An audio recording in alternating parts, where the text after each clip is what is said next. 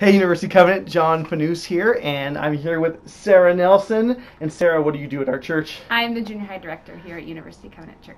And the reason that we're saying this out is this is a very special Sunday for our church. It's Confirmation Sunday, and it's uh, the first time I believe that we're doing this, or at least first time in a long time. Yeah. So, Sara, tell us what is confirmation? How would you explain it? What is confirmation in our church? In our church, confirmation is the opportunity for students to make their faith their own, to make a choice to spend a, a, year actually investing in reading God's Word, in coming to class and learning about the history of the church, and being discipled by an older mentor in our church. That's great. And um, you know, you started this up this year. Why? Why is this process so important? What do you feel like? What gap does it fill for us?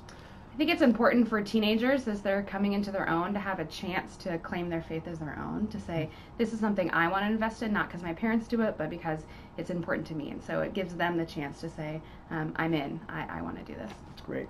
And I love how you structured this year for our youth. And there are 10 youth, is that right? Yep. I love what you're doing. And I just wonder if you maybe you can share a little bit. What did this year look like for our youth? What do they do? And uh, how is it structured? Yeah. So we have 10 ninth graders getting confirmed, and what they agreed to do this year is to um, spend a year going through a devotional book. So they're reading on their own every day, uh, digging into God's Word on key aspects of faith. And then they're meeting up every two weeks with a mentor from our church um, to discuss what's happening in their Devo, what they're learning in their faith, to get coffee, to hang out. Um, and then once a month, they've been coming to class with me and learning about history and theology and having great discussion about that. That's great. Good.